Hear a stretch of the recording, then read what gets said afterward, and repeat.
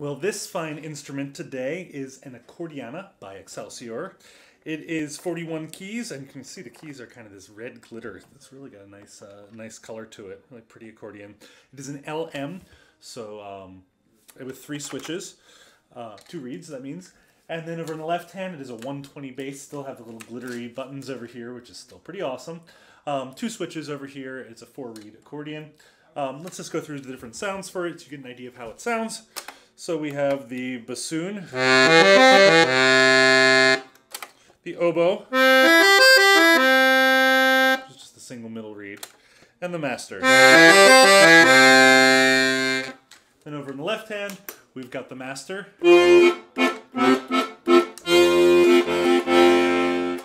And tenor.